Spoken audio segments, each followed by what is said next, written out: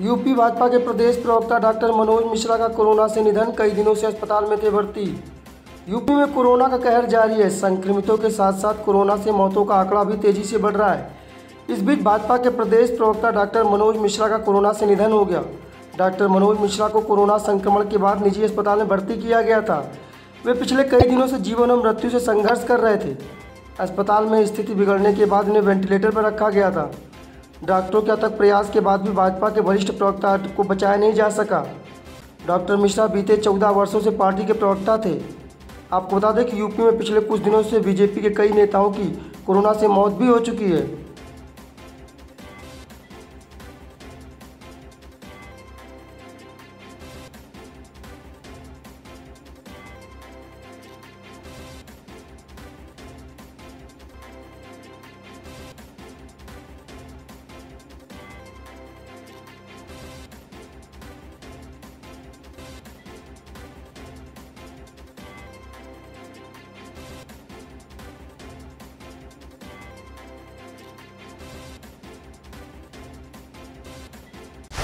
Download करें Amar Ujala app और पाए खबरें लगातार।